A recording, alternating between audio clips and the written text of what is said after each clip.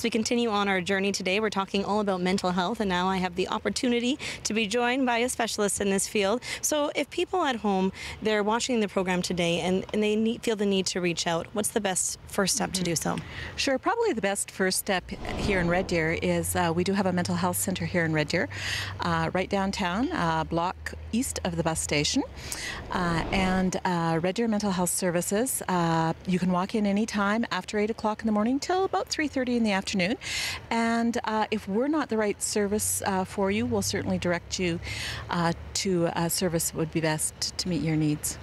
Now, if you're sitting at home and you're thinking that you need to make that reach out right now, mm-hmm. is there a phone number to call or what's the first sure. step? People can call the local Red Deer Mental Health Center at 403 340 5466 or they can call the mental health helpline, a provincial number, and that number is 1 877 303 2642.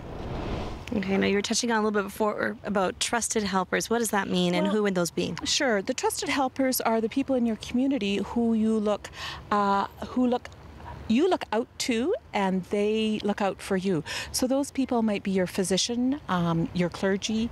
They could be in a school setting, the teacher, the counselor, family school wellness worker. Perhaps it's a sports coach, um, somebody who you just can really depend on to be there for you.